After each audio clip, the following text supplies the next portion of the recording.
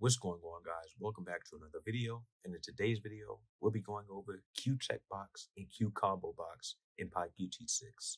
Let's get right into it. First, we'll start with QCheckBox. As you may guess, QCheckBox is literally just a checkbox that's the, that the user can check on or off. Not much to it. This is the program from last video uh, with QLabel. We are just going to remove all of this and start fresh for Q checkbox. So we actually don't need QLabel anymore. So instead of importing QLabel, we're gonna import QCheckBox. So it's just the name of the widget, QCheckBox, and I'm going to create a new variable called self.widget equals QCheckBox. And now this also, as our previous widgets, this takes a string as an argument. So I can do my checkbox here. Okay. So I have a widget called QCheckBox and this needs to be self.widget. Okay. Now if I run this,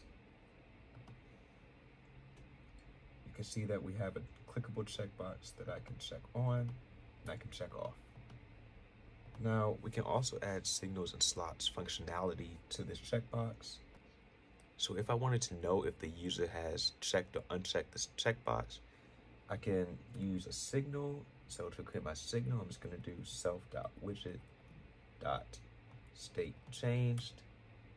And then I'm going to plug in a slot, which is going to be a function that I haven't created yet. It's going to be self dot underscore self dot show underscore state. So this is a signal that is checking if the state changed or if the check box has been checked or unchecked.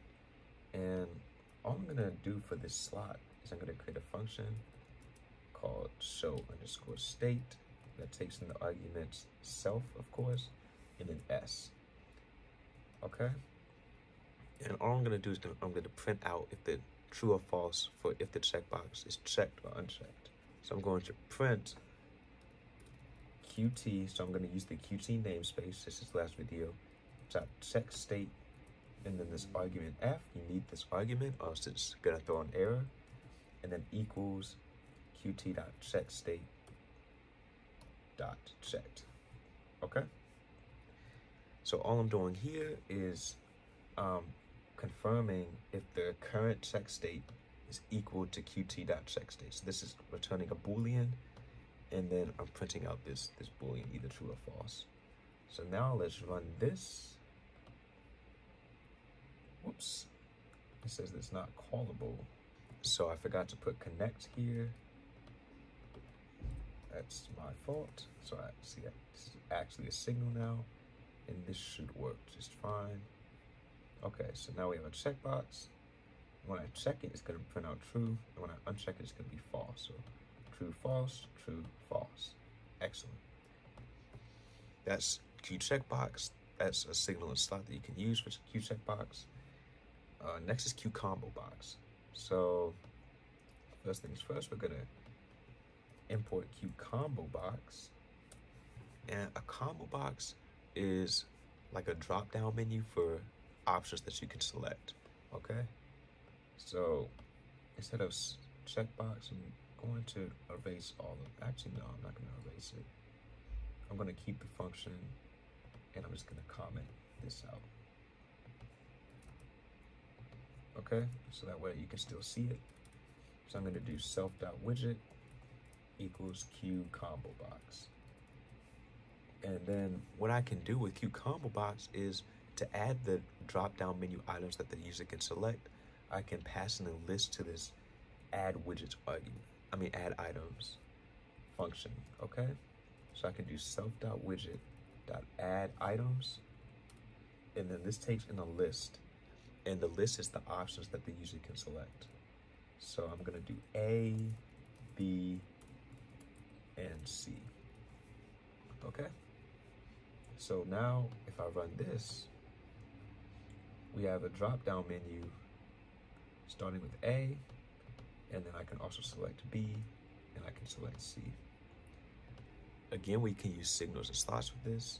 So this time I'm going to do self.widget dot current text change.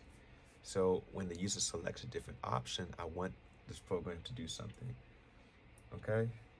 And I'm just going to pass in a function. Let's call it get underscore item. Okay, and I'm going to define this function. So my slot is going to be define get underscore item. And this is going to take self as an argument.